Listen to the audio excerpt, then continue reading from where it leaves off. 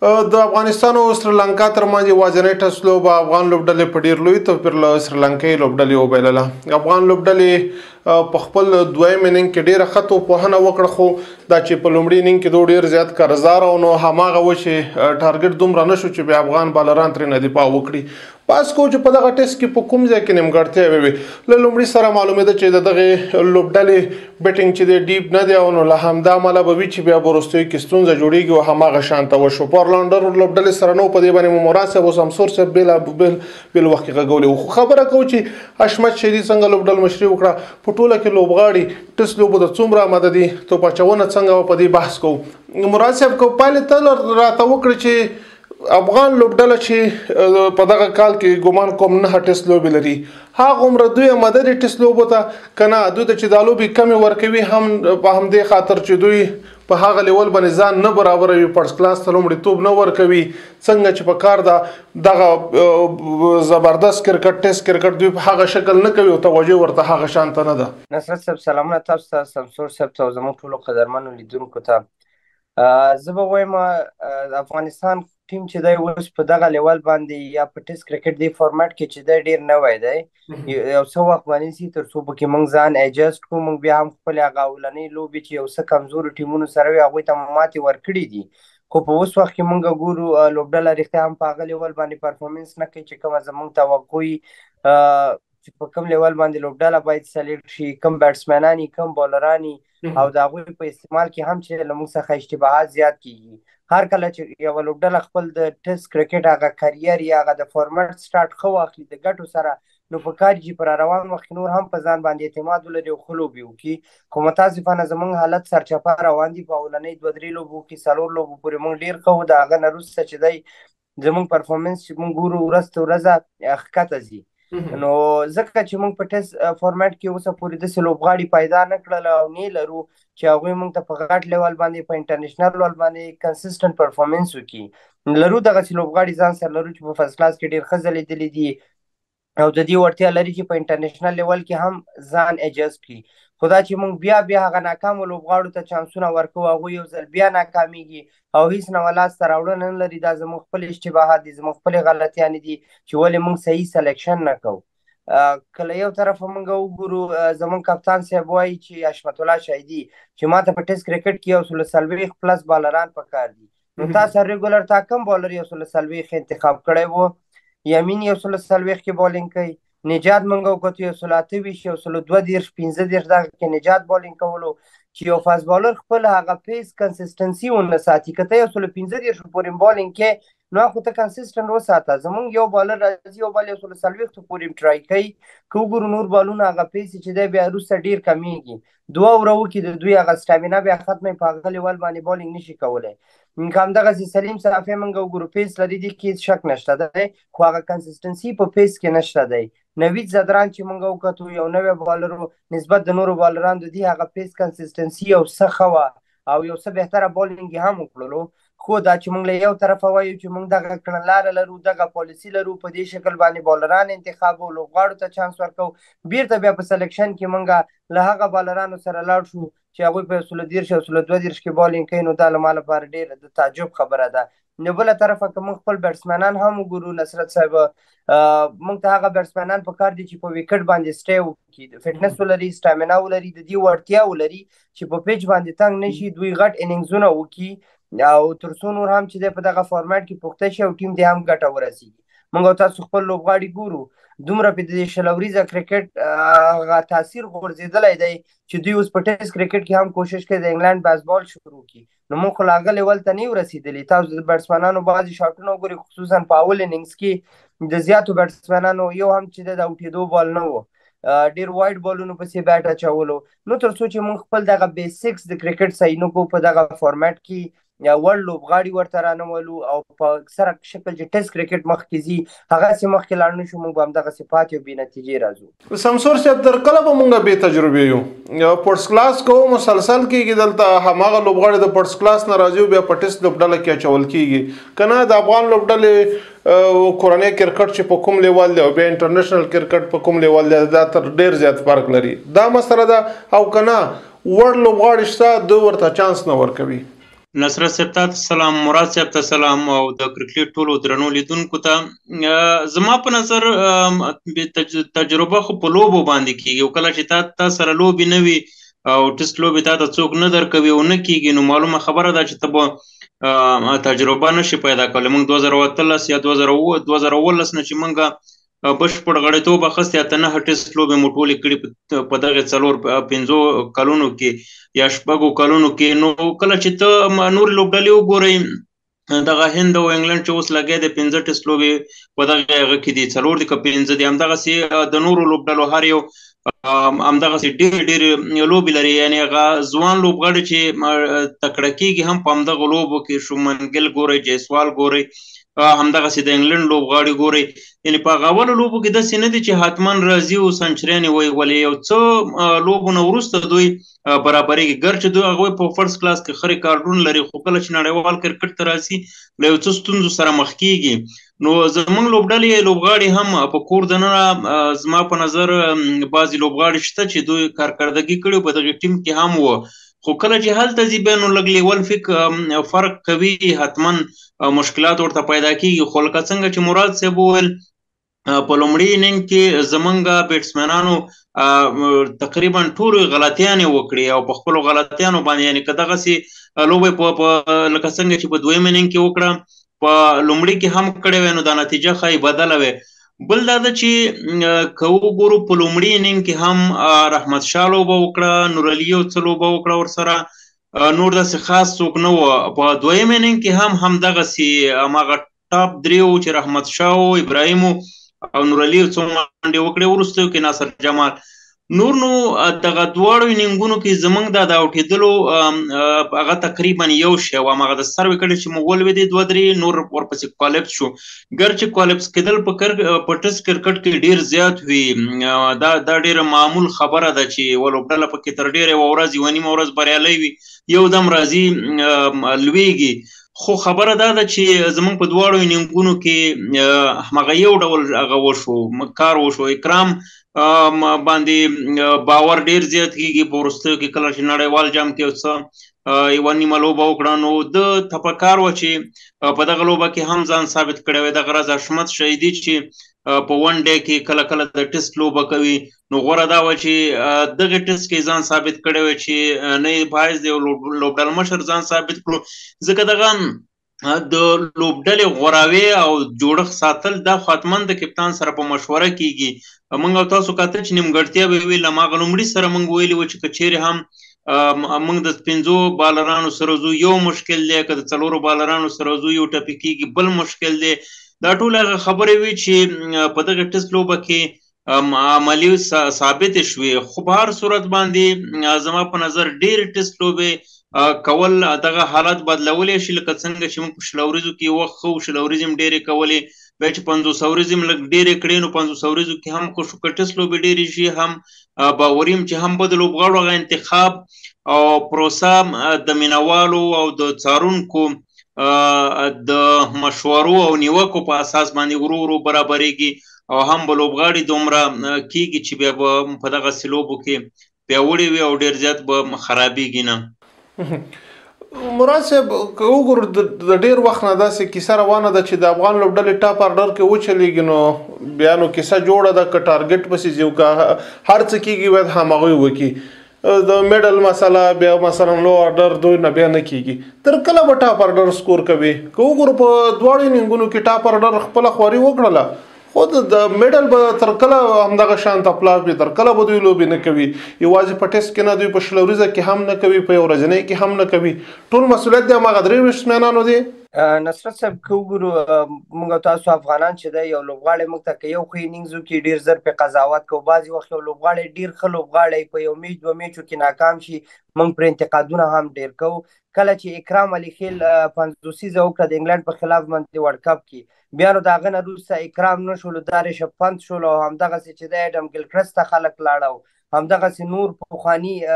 لیجنډز یاد کړل چې اکرام هغسې لوبه کوي او ما هغه وخت هم دا خبره کړې وه چې دا به وخت ثابتوي ځکه د هغه ورلډ کپ نه مخکې موږ په ایمرجنګ لوبو کې هم چې د اکرام لیدلی چې په ایمرجنګ اسیا کپ کې سره خام بیټنګ تر سره کړی وو نو په یو اننګز باندې چې دی موږ باید یو لوبغاړی سوپر سټار نو کو دلته اکرام ته ډیر غټ مسولیت جوړېدو ځکه د افسر افسر ورته په ټیسټ وکټ کې ډراپ کړلو حساب کې راوستو په همده خاطر چې اکرام سره بل کمپټیشن نه په یو لس کسیزه لوبډله کې نو چې کله سا وکټ کیپر تا ته یوازې د وکټ کیپینګ دنده تر سره کی او بیټینګونه کی هغه هم په ټیسټ فارمټ کې نو دا په یو لوبډله باندې ډیر پریشر راوستلی شي ځکه وکټ کیپر هم د سیده اولراونډر په شان رول لري هم کیپینګ تر سره کوي هم تا ته چې دی د بیټینګ مسولیت لري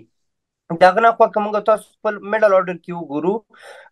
نو موږ سره چې دی ناصر جمال او ناصر جمال په اول اننګز کې چې دی خلو به ونه کړه په دویم کې چې وکټ بیټینګ ته جوړه وه یو څه بهتره بیټینګ یې ترسره کړلو خو په ټیسټ کرکټ کې دغه څلوېښت رنزونه او دېرش رنزونه دا کوم مطلب نه لري په کار دی چې یو لوبغاړی سیټ شي هغه غټ اننګزونه ترسره کړي ښه ناصر جمال خو ناټ آوټ په دې پاتې شولو ځکه چې موږ سره نور بیټسمینان نه وه خو زه وایم چې هر لوبغاړی په میډل آرډر کې لوبیږي دوی باید دغه مسولیت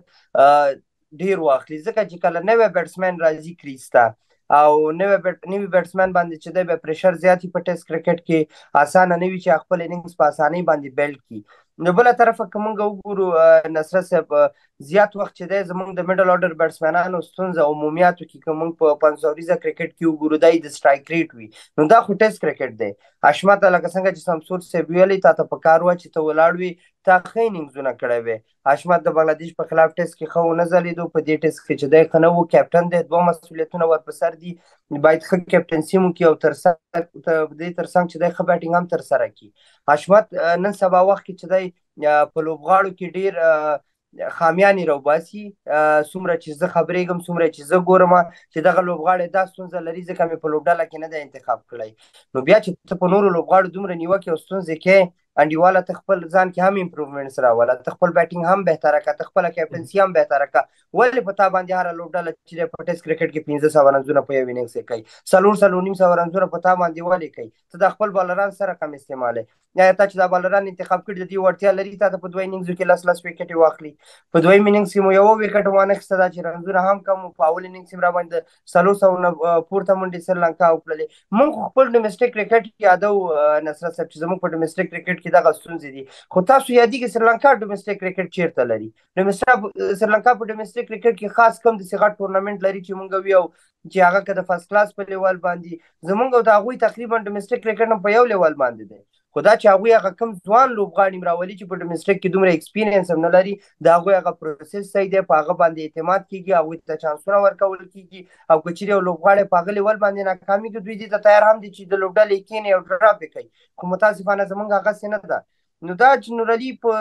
ټاپ اورډر کې په دوه اننګزونو کې چې دی یو څه ښه بیټینګ وکړو خو زه بیا هم وایم که دې دلته دوه سیلیزې هم جوړه کړی وای نور علي د افغانستان لپاره هېڅ آینده نه لري دا وخت د دې د ټیسټ کرکټ نه و دی باید به ډېر مخکې دې خپله ډیبیو کړی وای او د دومره ایکسپیرینس سر چې بیا ته دېرش او څلوېښت کې تا ته په کار ده چې ځوان ابراهیم سلیزه جوړوي تا ته په کار ده تا هم چې دی دا اننګز غځولی وای همدغسې رحمت شاه خپل کوشش وکړو لکه څنګه چې تا ویل په پانساوري زاکیم رحمت ګربز ابراهیم دوی موږ ته رنځونه وکړي په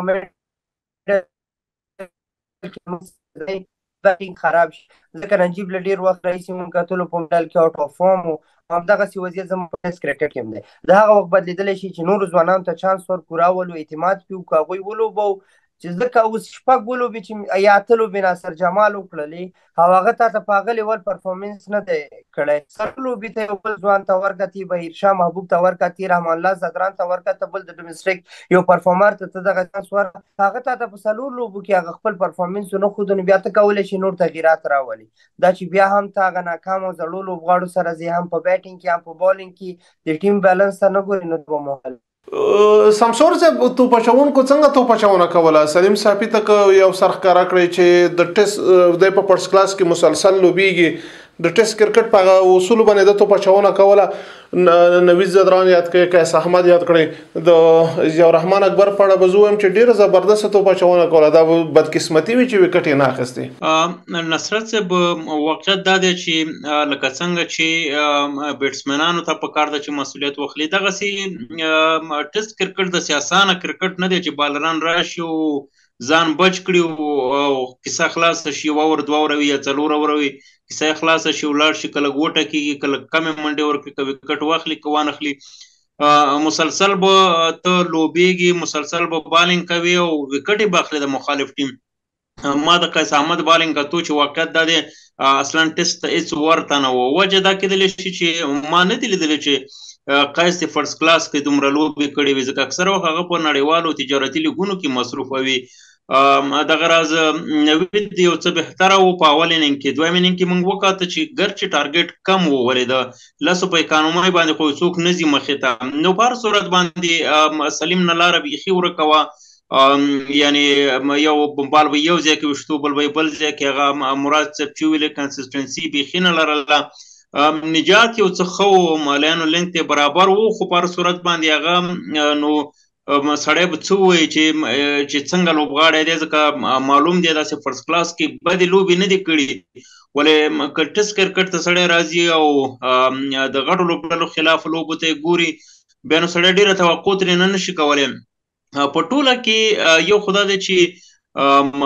زمونږ لوبغاړي لږ بې تجربه و فرست کلاس خو د افغانستان سمه ده چې پکې بعضې لوبې دلې دي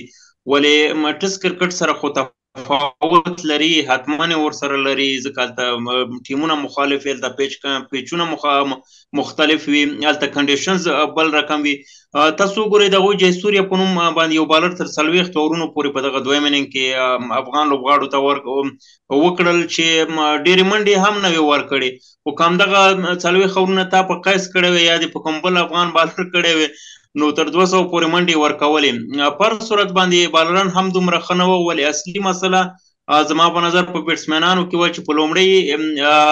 اننګ کې ډېرې کمې منډې وکړې او دا بیټسمنان چې ملامته کیږي هم وجه دا ده چې دغه پیچ تر دغې نننۍ ورځې پورې دومره سخت شوی نه و چې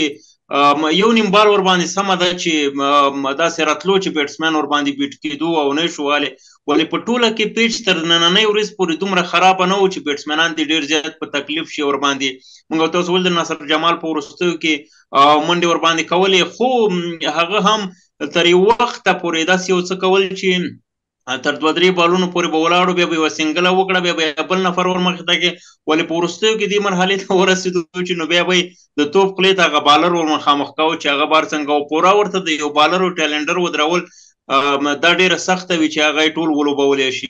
نور وخت کې د نورې نړۍ لوبغاړي بیا داسې وختونو کې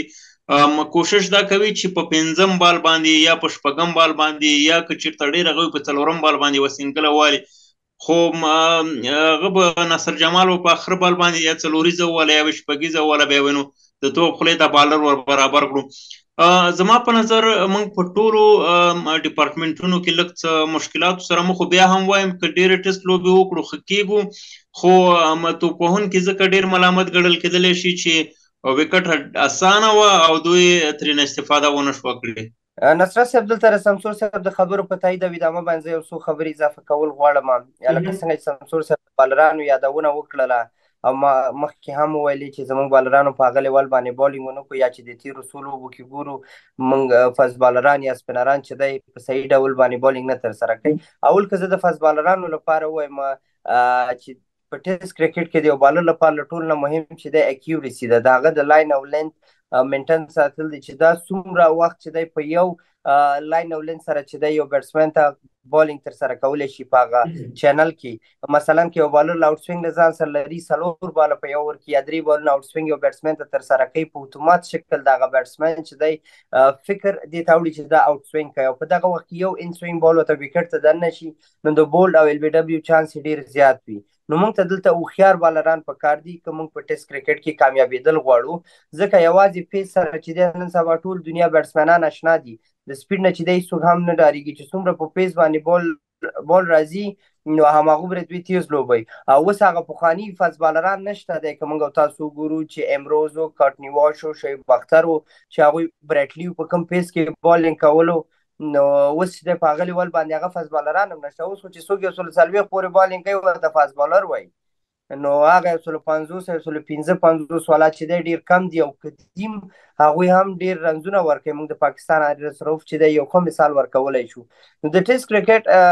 لپاره د لوبډلې د انتخاب د بالرانو غوره کولو لپاره هم چې دی باید یو کرایټیریا موجوده وي چا یا موږ صرف سپیډ سره ځو که چیرې موږ صرف سپیډ غواړو نو بیا به ستونزې زموږ په بالرانو کې ډېرې زیاتې وي سلیم صافي د تیز بالونو کوشش کولو خو د هغه لاین او لینت چې دی هغه د ټیسټ کرکټ نه هغه بیټسمین نه لوبولو هغه ډیر وایډ بالونه کول په ټیسټ کرکټ کې به ته بیټسمین لوبې کله چې ته دوه سلیپه درې سلیپه یو ګلی له ځان سره اخلي شارټ لیګ اخلي نو ته مجبوري چې ته بیټسمین ولوبې د هغه څخه ایج وباسي هغه آوټ کړي له بل طرفه که موږ وګورو په اول اننګ کې زموږ پلان ډیر د شارټ پیچ وو نو یوازې په شارټ پیچ باندې هم چې دا وکټ نه اخیستل کیږي زموږ هر بالر راتللو او بیا به کله هغه شارټ پیچ هم چې ډیر سلو شولو په ښه پیس کې نشو کولای یا چې دی په هغه صحیح ځای کې دا بول نشو پیچ کولو نو موږ ته دلته بالران په کار دي چې هغوی په ښه لاین او لین سره سوینګ سره بالینګ وکړي که پیس ورسره زیات نه وي موږ تاسو د اسټرالیا میګرات کتلی شو میګرات سره خو چې دی سپیډ نه و هغه په دې خپل لاین او لین څومره ویکټې اخیستې دي د سریلانکا چامنداواز موږ تاسو یادولی شو د هند بونیشور کومار موږ لیدلی شو د هند پروین کومار موږ لیدلی شو چې لږ به ورته کنډیشن مساعد نو ډېر ښه سوینګ سره بیا چې دی بالینګ کولو نو موږ ته هم په کار د په لوبډله کې یو کمبینیشن ولرو له ځان سره چې دی که څلور فاست بالران ساتي یو دوه کته تیز انتخابي چې هغوی ښه پیس سره بالینګ کوي دا هم صحیح ده ځکه چې کله بال جوړ شي او سوینګ پې نه کیږي نو بیا تا ته داسې یو بالر په کاري چې هغه لږ پیس سره یا ریورس سوینګ وکړي یا چې دی ښه بانسر وکړي خو ځان سره یو دوه بالران حد اقل ته باید هم داسې وساتي چې هغوی په ښه لاین او لین سره په اکیوریسي سره بالینګ کوي دا ډیره ضرور ده نو بل طرفه که په سپین ډپارټمنټ کې مونږ هم وګورو قیس ډیر وخت وروسته چې دغه لوبډلې ته راغی او په دې لوبډله کې څنګه چې په سپین بال کې پرفورمنس کړه هغه چې په سور بال کې نه و خو خیر یوه لوبه وه نه زه اروا خوایم چې قیس د دې وړتیا لري په یو لوبه باندې باید مونږ دا جج نوکو دا ججمنټ ونکو او خدای دې وکړي چې کرکټ بورډ هم د دې دا یوه لوبه نه کړي او چې دې نه وروسته بېرته دا د لوبډلې کې ننول شي په نظر کې ونیول شي او یو شی له ټول نه مهم دی چې دغه بالران یا بیټسمنان چې زموږ په تجارتي لیګونو کې لوبیږي په دوی دي محدودیتونه ولګول چې د دوی هغه مایند سیټ ټول 20 کرکټ ته تللی تاسو د قیس بالینګ وګورئ قیس د ټي 20 کې کداغه بالینګ کې دا ټول سنگلې دي او بیټسمن مجبوری کې د غټ شاټ لپاره په پتا باندې ځان بیا اوټي ته به وکټ اخلي خو په ټیسټ کرکټ کې بیا د سینې کې په پنځوريزه کرکټ کې د سینې کې ته په یو لاین او لین کې بالینګ کې ته بیټسمن مجبورې چې ته هغه وکړي ځکه هغوی سره په ټیسټ کرکټ کې هیڅ د اورونو د بالونو لوبولو کوم مشکل او خطر نشته دی نو ته به هغه بیټسمین مجبورې چې وکټ یې واخلي هغه ته خپل وکټ په اسانۍ باندې نه درکوي او زموږ بیټسمینان هم کو ګورو نو باید دغه بال لیفټ کول یا لیف کول په ټیسټ کرکټ کې دا ډیر ضرور دی په کوم لاین کې بال ولوبو یو خو د ناصر جمال لیبو چې د وکټ بال هغه لیف کو بول شو او بیا د اکرام علي خیل شاټونه مونږ لیدل چې ډیر وایډ بالونو پسې بیټ اچولو یا نور لوبغاړو غم نو دوی باید کوشش وکړي چې دغه لیګونه په محدود کړي شارټ فارمټ محدود کړي دغه فارمټ ته ډیر اهمیت ورکړي که چیرې په ټیسټ کرکټ کې زمونږ هغه لوبډله او تعداد او صحیح شو زه تا باوري ما چې زمونږ لوبډله به چې په پنځوریزه کرکټ کې هم صحیح کیږي او په شلوریزه کې به هم ښه کیږي ځکه هغه کوم ټیکنیک چې په ټیسټ کرکټ کې پکاري هغه په هر فارمټ کې ستا په درد باندې خوري هغه بیله خبره ده چې بیا سټرایک ریټ او حالت هغه بیا په انټرنیشنل کرکټ چې یو لوبغاړی کوي نو هر رقم فارمټ او حالت سره ځان باید اډجسټ کړي اصغر صاحب مخکې د دې نه چې ما دغه خبرونه پای ته ورسوي دا د مراد صاحب خورا مهمه خبره د شروع کړه زما په زړه کې و چې دا خبره وکم لږ څه اشاره وکړه غواړم چې لږ نور ور باندې خبره وکم دغه فرست کلاس کې زمونږ د لوبغاړو لوبېدل په دغه د غټ لیول لوبغاړي چې زمونږ دي مونږ تاسو ګورو فضل حق فاروقي په په فرست کلاس کې نه لوبيږي عظمت مرزي نه لوبيږي مجيب الرحمن نه لوبيږي رحمان الله ګربز نه لوبيږي یعنی ستاغه د ټاپ لیول لوبغاړي چې فارمټ د وان ډے فارمټ دی او د شلوریز فارمټ دی هغه ټول اصلا فرست کلاس ته مغن ګوري داسې خاص ارزښت نه ورکوي کوم یاد شي ته مراد صاحب په د امیش پټوال سره و مرکه کړې و د افغانستان د ملي لوبډلې پخواني روزونکي سره هغه دا ول چې په دغه لوبغاړو باندې باید فرست کلاس یو دوه درې میچ جبري شي تر څو پورې دوی هلته ولوبېږي نور لوبغاړي ترې نه زده کړه وکړي دوی خپله غشي یعنی ته اوس هغه که چیرته فضل حق فرست کلاس کولی او دا په په دغه لوبو کې وي نو نو دا به د نورو ډیرو بالرانو نه بهتره وي دغه بومرا تاسو ګورئ په ټولو فارمټونو کې د خپلې لوبډلې لپاره لوبیږي کنه دا پټکه من سو ګوري لوبيږي کنه دغه راز دغه شاهین افریدی وګوري لوبيږي کنه هغه خپل بهترین لوبغاړي خلک په ټولو فارماټونو کې لوبوي دا څه نه ده چې هغه یوازې شلوریزو ته خوشی کړی وي چې راځه شلوریزه لوبه مې کوه ته پکې ولوبېږه کنه عزت جرادي لیګونو کې پیسې ګټه خپل بهترین لوبغاړي ټول بورډونه خساتي ټیټي ساتي او په ټولو فارماټونو کې لوبي کنه د بمرا په دغه ټیسټ لوبو کې څه ضرورت چې لوبېږي دا د کوم میاشت وروسته آی پي ایل را روان دی له هغې وروسته نړیوال جام را روان دی خو ولې هغه لوبېږي او هماغه دی چې د انګلند خلاف ورته بریا هم خپله کړه نو زمونږ دغه لوبغاړي چې دي لکه مراد صاحب چې ویل که چیرې په ټیسټ او فرست کلاس کې دوی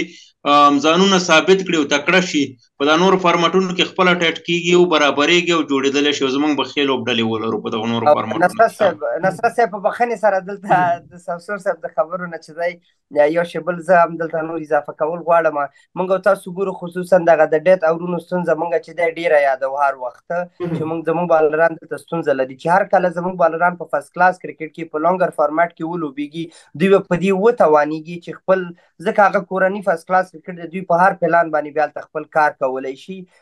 دغه وای ډي ار کری چې دی کوم سلو شارټ پی چې دی د دوی که هم هغه خپل ټول د بولینګ کوم ستونزې چې دوی په فرست کلاس کرکټ کې هلته جوړولی شي پریشر به پې کم وي مخالفه لوبډله چې دی خپل کورنۍ لوبډلې به نو دوی کې هلته ډیر بهتروالی راتللی شي په ډیت اورونو کې او زمونږ د بیټسمنانو په شارټ شارټ سلیکشن او ټیکنیک کې هم چې د بهتروالی راتللی شي بعضی وخت مونږ ګورو ګربز بیخي بیا حوصلې کیږي هغه د حالت خلاف چې دی یا بعضی بیټسمنان چې دی هغه سچویشن په اسانۍ سره نشي ریډ کولای او یو شی بل چې ډیر مهم دی نصرت صاحب ماته چې څومره معلومات را ورسېدل زمونږ هډ کوچ جوناتن ټراټ د سریلانکا د سفر څخه یو تک څخه یو یا دوه ورځې مخکې چې د اماراتو ته رسیدلی وو نو دا کم کم چې لګیدلی وو په اماراتو کې دا د جناب